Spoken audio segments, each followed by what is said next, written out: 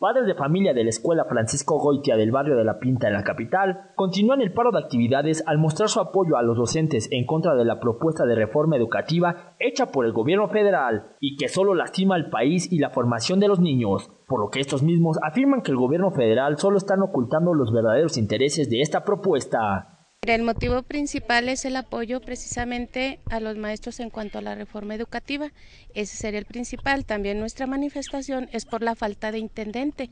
Ya tenemos varios años que no nos dan no tenemos un intendente y no tenemos velador y se ha sufrido varios robos en donde tenemos las computadoras. Serían esos tres puntos los que nosotros estamos aquí apoyando. Mm, ahorita somos aproximadamente, la población es como de 150 y están 50, la mitad, que son los que nos apoyan, pero varios están ahorita en lo que son las manifestaciones de afuera y ahorita nada más estamos eh, los que pocos aquí porque los demás están distribuidos en diferentes eventos que se están realizando. Pues mi mensaje es que, que investiguen sobre la reforma, que se informen, que entiendan que hay mucho, mucha, mucha política en esto y que los beneficios que el gobierno quiere para los padres de familia realmente no son los que ellos nos están informando, que no sigan dormidos, que despierten y que abran un poquito su mente, nada más.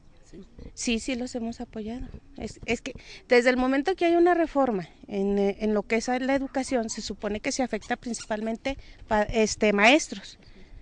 Después viene, lógico, alumnos y vienen los padres de familia, porque ¿quién solventa a los alumnos? Los, los padres de familia. Pues nosotros eh, tenemos pensado prolongarlo la semana que entra, pero pues ya viendo el apoyo de los de la mitad que estamos aquí, si, si continúa el apoyo de ellos, pues seguirá y si no, pues se tomarán otras medidas. Pues que sabemos que, que lo que es la política, el gobierno maneja todo, maneja también medios de comunicación. Hay medios de comunicación que tienen beneficios para sus, uh, para sus empresas y bueno, pues cada quien defiende lo suyo los maestros y los padres de familia defienden también sus beneficios. Correcto, está bien, pero todos tienen un interés, no nada más los maestros. Claro, sabemos que muchos padres de familia de esta escuela también, algunos están inconformes porque no se les da clase, pero pues por eso se está presionando, no hay otra manera de presionar.